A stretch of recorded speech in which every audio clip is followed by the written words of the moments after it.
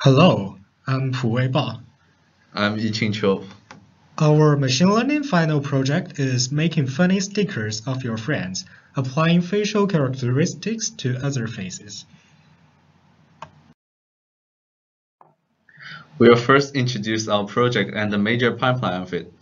Then we will go deeper into the data processing and the neural network part of our project.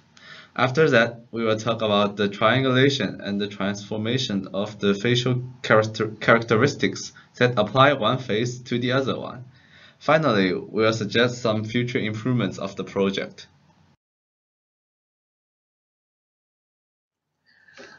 How do we come up with our project? We often receive many funny stickers while we are chatting with our friends on WeChat, but we can't find interesting stickers to reply them. But after learning convolutional neural network, Martin and I think, why don't we make our own stickers with our friend's face using machine learning techniques? That would be interesting. This is the major pipeline of our project. First, we import the source picture and the face picture into the program. And the program find out the landmark points on both faces using convolutional neural networks. Then, after finding the landmark points, uh, it triangulates the landmark points to get separate pieces of both faces, which means it slices faces into pieces. Then transform the related, related triangles from one face to the other. So the face picture is mapped onto the source picture. Finally, we put the newly made face back onto the source picture, and we get our new stickers.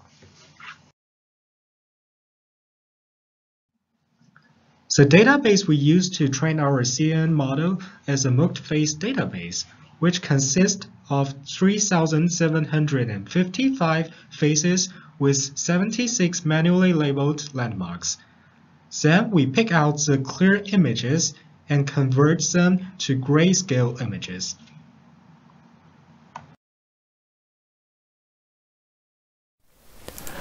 Before introducing convolutional neural network, we should first know something about artificial neural network. On the left is the basic element of neural networks, a single neuron.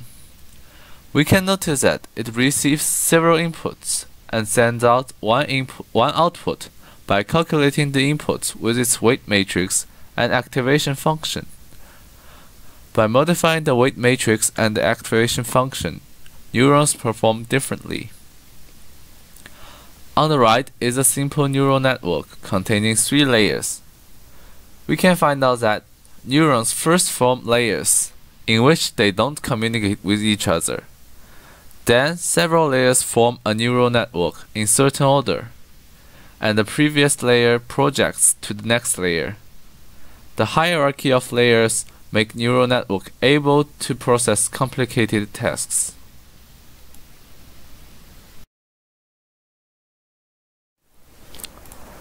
Let's move on to convolutional neural network. It is a kind of neural network widely used in computer vision systems and usually works well on image processing tasks. It usually contains three kinds of layers convolution layers, pooling layers, and fully connected layers.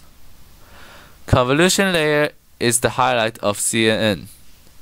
It scans the picture by windows to receive inputs from nearby pixels instead of taking the whole picture as input, so that it scratches more possible features from the, from the input. The pooling layer is used to make CNN steady by compressing the nearby neuron to get kind of higher understanding of the picture. Fully connected layer is just using simple functions such as sigmoid function to classify the inputs. Combining them together by many ways, it becomes a CNN that can process image data. Since CNN is a deep neural network, we can't update the weights from the first layer to the last layer. Instead, after we process a training data through the neural network, we calculate the loss function of the network and use chain rule to derive the partial derivatives of all the weights in the previous layers from output to input. Here is a simple proof of back, pro algorithm. It shows how it works.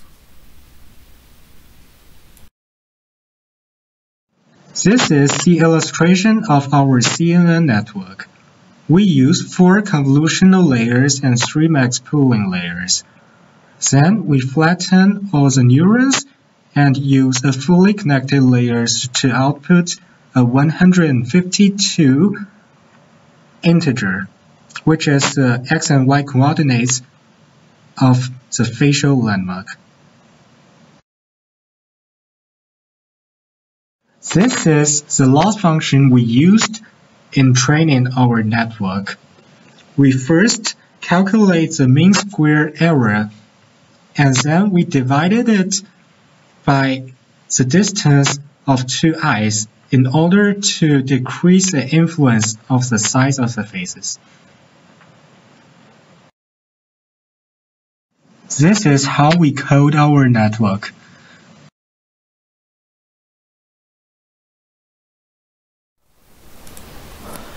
After the landmark point is marked on both faces, we use the Delaunay triangulation to split the face into separate triangles. The Delaunay triangulation can fill up the space ranged by discrete points. The process of triangulation can be solved by Lawson's local optimization procedure. Since the landmark points are one-to-one -one mapped on both faces, these triangles can be mapped as well. By triangle transformations, which is shown in this picture and this formula, we simply transform and move pieces of faces onto the new face.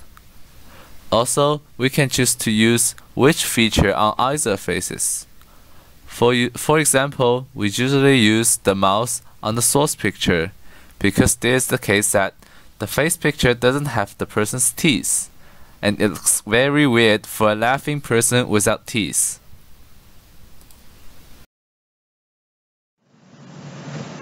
This is a picture of our lovely Professor Keith Ross, and these are the stickers we made for him. There are still many improvements that can be made on our project. First, the border of the face isn't blurred so it looks weird. Second, the brightness of both faces are not balanced on new face, so we can see that no the nose part is darker. Also, maybe we can use generative adversarial networks, which is invented recently to generate new pictures from noise picture and compare it with the features instead of transforming the face picture to the source picture. Thank you for watching.